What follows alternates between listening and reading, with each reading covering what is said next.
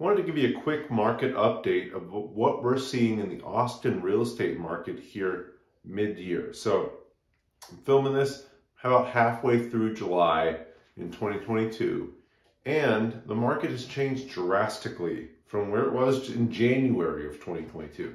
So things are so different and it feels just radically different because we were in such a hot market. Over the last year, year and a half, it was impossible to find a house to buy. It was maddening for me. It was maddening for our clients. You were competing against dozens of people on every house. So there'd be dozens of offers on every house.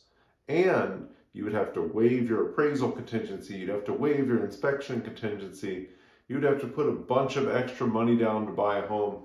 It was just really uncomfortable and it really wasn't a lot of fun to buy over the last year and a half or so if you had to. Or if you wanted to, like me, I wanted to buy real estate. I bought a few rental properties. It was not a whole lot of fun to find a property. It's completely changed today. So here in July of 2022, we're seeing about a normal amount of homes on the market. And that feels so crazy because there hasn't been a normal amount of homes on the market for quite a while. We've had such low inventory that our normalcy here now feels insane. At the same time, there's a lot of fear of uncertainty that people are seeing. They don't know what's going to happen. They see all these articles. Uh, home prices have adjusted down ever so slightly because there is a normal amount of competition on the market and interest rates have gone way up. Interest rates have almost doubled, well, close to doubled since last year. If you're looking at my interest rate I have in the home we're in right now, 2.5%. I'm actually refinancing this on Monday into 4.25 so I can go buy another one. But they're around 5.73% when I last checked. Again, that fluctuates every week. Check with your lender. It varies on your credit. It varies on your or your bankability, but they have doubled since last year. So that's going to affect buyer demand quite a lot. Also, there's a lot of misunderstanding of interest rates and how those works. And people see interest rates in the news and say, oh, the Fed's raising the rates. That means my interest rate's going to just jump up by that same amount.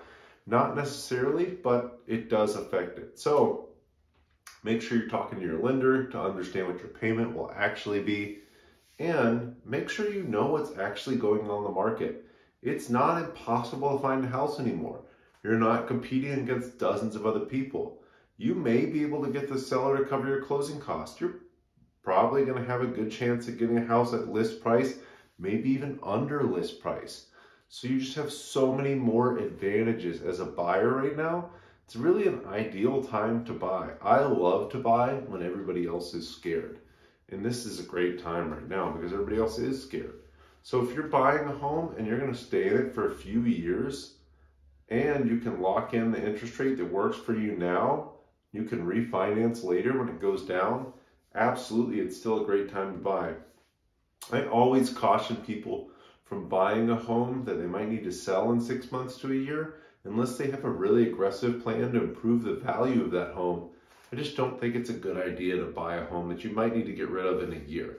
If you're going to be in it for a few years or you're going to be able to hold on to it after you move out as a rental property, or again, you're doing an aggressive remodel to it and you're going to increase the value by quite a lot. It's a great time to buy. But your lender is really going to let you know if this is a good time for you to buy and if you're able to buy right now. If you are, you have a lot less competition and the ball is really in your court. So as a buyer, it's an ideal time to buy. Again, interest rates are high compared to where they were last year, but they're about they're, they're not even up to where the historical average is, but they're getting close to where historical average interest rates are. And we expect they'll come down here in the next few years. Again, I really can't tell you for sure that's going to happen. All the pundits and all the experts I talk to say that, but as long as the payment works for you today for your rental property, for your primary residence, great, because you have a lot easier time buying right now. Where the last couple years, it was just incredibly hard to buy. But again, guys, you know, if you are a buyer right now, you're in a lot better shape. If you're a seller, you really need to be careful and you need to make sure you price your home right. You need to make sure you make it look great.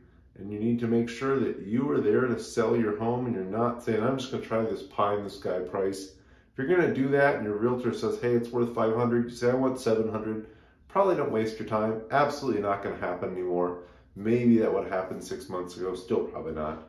But it's still a great time to sell a home. Just be realistic and sell your home based on data. Maybe even be a little more aggressive than that. So again, quick Austin market update. We have a lot more listings on the market. They're sitting for longer and they're not selling as quickly. So where this goes, we don't know, but that's where we are right now. And it's a great time to buy. Be a little more careful if you're selling. Thanks, guys.